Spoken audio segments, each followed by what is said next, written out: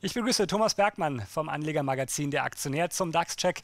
Herr Bergmann, nach sieben Gewinntagen in Folge wird es jetzt langsam mal Zeit für Verluste beim DAX? Ja, hallo Herr Urme. Das kann natürlich durchaus möglich sein, vor allem vor dem Wochenende, dass man sich da einfach mal auf die sichere Seite begibt und äh, eben Gewinne mitnimmt. Von daher ist ein Rücksetzer durchaus auch mal äh, gesund. Allerdings, und das ist äh, die gute Nachricht, wir bewegen uns nach wie vor über diesem Abwärtstrend auch über der Unterstützung im Bereich von 11,635, äh, die ursprünglich als Widerstand fungierte. Von daher haben wir durchaus noch Luft äh, in einem ersten Schwung bis 11,920 etwa zu steigen, äh, zu steigen, wo ein weiterer Widerstand wartet. Ähm, was natürlich auch äh, gegen massive Gewinnmitnahmen spricht, ist, dass wir einfach jetzt am Wochenende mal kein Referendum haben, keinen EU-Sondergipfel und dergleichen.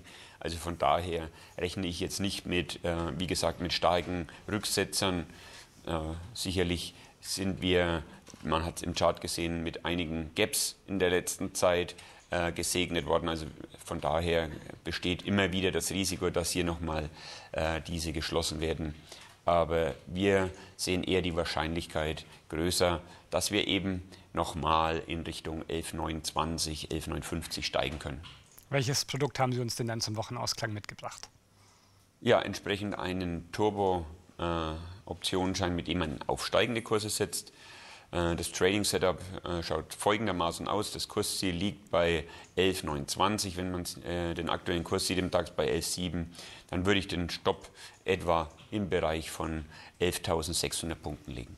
Thomas Bergmann, dann besten Dank für Ihre Einschätzungen. Sehr gerne.